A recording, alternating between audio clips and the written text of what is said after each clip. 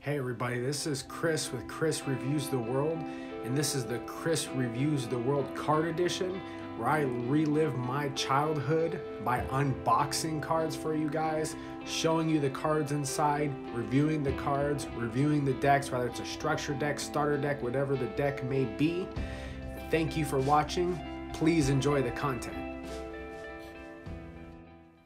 Hey guys, thanks for thanks for watching the Cris Reviews the World card edition where I unbox and review cards and I also give news as well.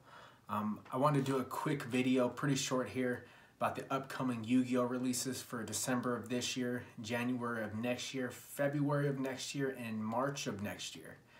Um, so let's see what's coming out. So December 8th is going to be the Circuit Break Special Edition.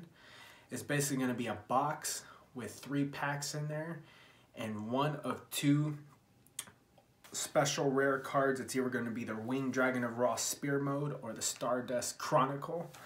Um, January 2018 on Jan January 19, 2018, a 41 deck Wave of Light structure deck will be coming out.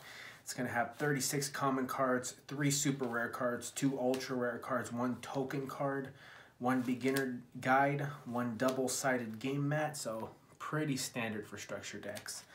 Um, on February 2nd, 2018, we have the Extreme Force booster packs coming out for you to buy.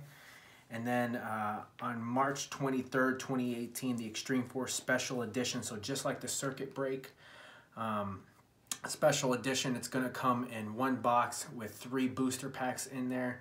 And uh, one of two super rare cards. I'm not sure which those are going to be yet, but as soon as I find out, I'll let you guys know. Um, thanks for watching the Cris Reviews the World card edition. You know, check out the other content on my channel. Subscribe, like, and share. And thank you so much for watching.